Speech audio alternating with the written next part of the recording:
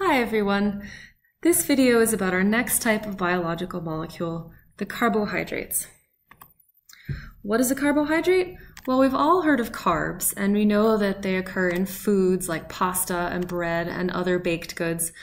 But since we're in a science class, we want to learn about carbohydrates from a more biological and chemical standpoint. So what is the carbohydrate as a molecule? Well, carbohydrates are relatively simple molecules that generally contain only carbon, hydrogen, and oxygen.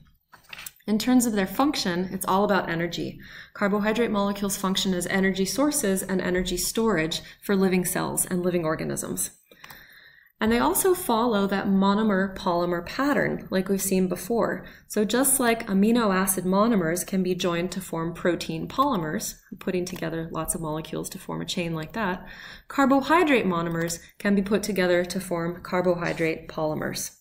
So we're going to start by learning about the monomers of carbohydrates, which are molecules called monosaccharides. And this word literally means one sugar. So these are simple sugars, and the classic example of this is a molecule called glucose. You're going to hear a lot about glucose in biology this year, and we'll come back to it in a moment. The function of monosaccharides is an immediate energy source. Cells can take in monosaccharides, or sugars, just as they are without needing to break them down further and be able to use them as instant energy. In terms of their structure, Monosaccharides all have the same general type of structure that consists of a carbon skeleton, multiple hydroxyl groups, and one carboxyl group. So here's an example. So we've got a three carbon skeleton with two hydroxyl groups and a carboxyl group up there. And if you count all of the atoms in here, in here, you'll see that this molecule has the formula C3H6O3. Here's another example. So carbon skeleton, couple of hydroxyl groups, and a carboxyl group. If you count up the atoms in this molecule, you'll see that it also has the formula C3H6O3. So it has the same formula, but a different structure, so that makes these two molecules isomers. And one last example here, again, you can see a longer carbon skeleton now, a few hydroxyl groups and a carboxyl group up there. And if you count up all the atoms, you'll see that this molecule has a formula of C5H10O5. So if you look at the different formulas for these molecules here, you might see that there's a pattern. Every monosaccharide has a formula that's a multiple of CH2O. So for however many carbons you have, there's twice as many hydrogens and the same number of oxygens as carbons. So that's important to know. In terms of their names, monosaccharide names always end with the prefix "-ose". So we'll come back to that glucose molecule here. If you count up all of the atoms in there, well, it's got six carbons. So can you predict what its formula would be? It's C6H12O6. Here's another molecule, and you can see that it also has six carbons, and so it would have the formula C6H12O6, but the structure is slightly different. The carboxyl group is down here. So this is an isomer. It's not the same molecule. So it's not glucose. This one is fructose. And one more, here's a molecule that's just a little bit different from glucose. You can see down here, this hydroxyl group is on the opposite side, but this also has the formula C6H12O6, but again, a slightly different structure, so it's not the same molecule. It needs a different name. This one is galactose. So we do have different names for the different isomers in the monosaccharides. And I chose these three because these are the ones that you need to know, glucose, fructose, and galactose. And you cannot tell the formula from the name, so you're going to need to memorize the names and the formulas. As I mentioned before, this glucose molecule is pretty important in biology, so let's take a closer look at it. So here it is again. And glucose is really important because this is the sugar that cells take up most efficiently. And a lot of the food that we eat gets broken down into glucose. And so that's what we absorb from our digestive system into our bloodstream to go out and feed all of our cells. So when you hear the term blood sugar, we're actually referring to glucose. This here is one form that glucose can take, but it generally only does this when it's in a totally dry environment. And you know that there's a lot of water in our bodies, in our cells. So when it's in a wet environment, glucose actually folds up into this ring structure. So this is what glucose would look like inside our bodies. Now, if you look at this molecule, you might wonder where all the carbons are. And they're there, they're just not drawn in every angle or every corner of this molecule is actually a carbon. So we have one, two, three, four, five, and the sixth carbon is up here. And this corner of the molecule here is actually an oxygen. So it's a slightly unexpected shape. But this molecule is a little bit complicated. If we asked you to memorize the structure of glucose, this one's a bit much. So instead, we're going to ask you to memorize this simple or abbreviated version of glucose here.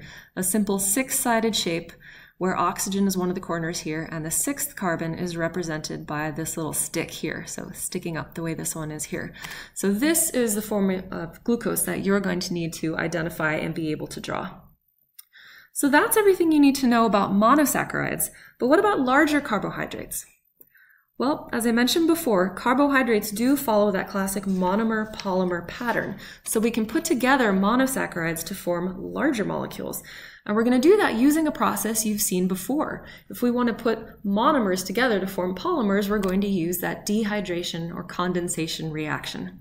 So if we put together two monosaccharides, we're going to get a disaccharide with that prefix meaning two.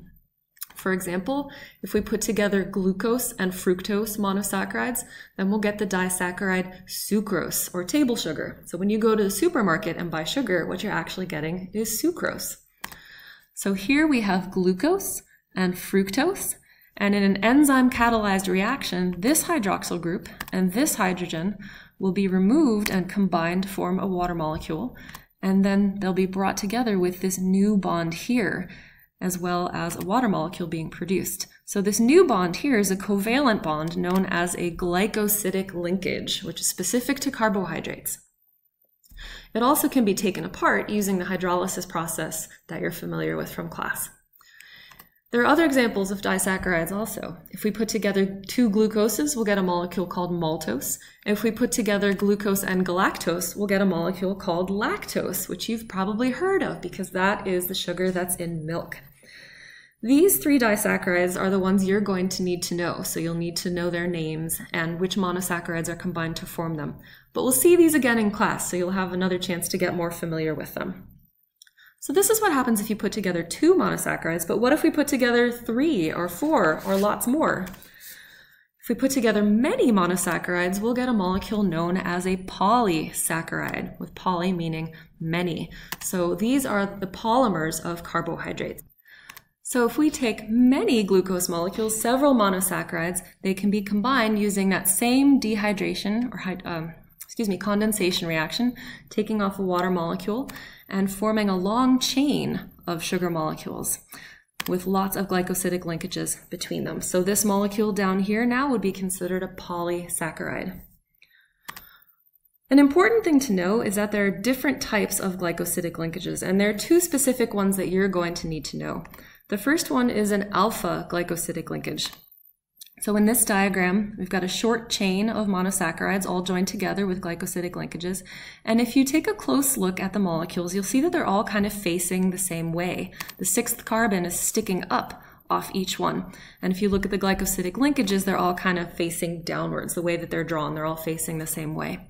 What you can't really tell from this diagram is that there's a little bit of an angle to each bond. So if we put together lots and lots and lots of these, the molecule is going to start to bend, kind of like that. And so if we put together hundreds or thousands, they'll actually coil up in a molecule that looks like this. So alpha glycosidic linkages will result in a polysaccharide that has a helical shape. It's a helix or a coil. And humans are capable of hydrolyzing or digesting polysaccharides that have these because our digestive systems produce an enzyme that can perform hydrolysis on this specific type of bond. The other type of glycosidic linkage you need to know is called beta. If we take a look at this short chain of sugars here, you can see it's a little bit different from the diagram above. If we look at that sixth carbon, it's sticking up on some and sticking down on the others, so it's not really consistent here. And if you look at the glycosidic linkages themselves, they're also kind of facing opposite directions. That means that if we put together lots and lots of these in a chain, the bond angle actually cancels out. And so we end up with a polysaccharide that's more of a straight line rather than coiling up. So a polysaccharide with beta glycosidic linkages is actually going to have a straight chain shape. But humans actually cannot hydrolyze polysaccharides that have beta glycosidic linkages because our digestive systems do not produce an enzyme that can perform hydrolysis on that particular type of bond. There are several different types of polysaccharides, and you're going to need to know three of them for this class. They are starch, which looks kind of like this, glycogen, which has this general structure, and cellulose, which has this kind of shape. Now we're not going to talk about the details of these in the video, we're going to wait until class to go over these. But what you're going to need to know about each one of these polysaccharides is who makes it, which types of organisms produce it, what they make it for, or what the function is, what the general structure of the molecule is, and whether or not humans can hydrolyze or digest it. And you might be able to kind of guess the answer to that last one based on the diagrams above. So to review what we've seen in this video, Monosaccharides are the monomers of carbohydrates. Their formula is always a multiple of CH2N, and their names end with the suffix ose. The most important one is glucose, with the formula C6H12O6, and it looks like this. But again, you don't need to know that structure. You need to be able to draw this one. Monosaccharides can be joined using dehydration or condensation reactions, and that creates glycosidic linkages. If we put together two monosaccharides, that form a disaccharide, such as sucrose, which looks like this with that glycosidic linkage between them. if we put together many monosaccharides, we'll get a polysaccharide, which may look something like this. And the shape of the polysaccharide will depend on whether it has alpha or beta glycosidic linkages. And we're going to learn more about those different kinds of polysaccharides in class. So that's everything you need to know about carbohydrates for now, and I will see you in class.